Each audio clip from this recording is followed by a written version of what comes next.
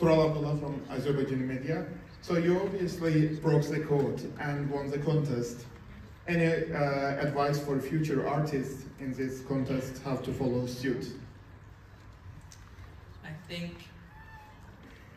just tell something you really care about and, and something, write about something and, and create something that has meaning to you and share that with the world. I think that's the only thing I want to do as an artist. I think if you if you can create something out of your own experience and, and share it with with the world, that's one of the most wonderful things you can do.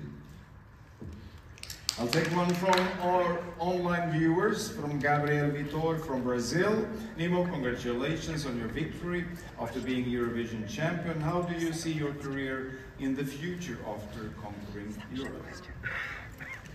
I, I'm honestly, tonight, I'm just thinking about tonight, and I think that's more than enough. Tomorrow I'll wake up and uh, there's gonna be a new day to think about a lot of things but now I'm just here.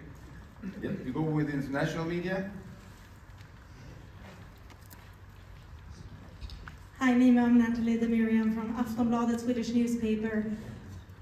You're the first artist as a non-binary person to be, win Eurovision Song Contest. When I say those words, what does that make you feel?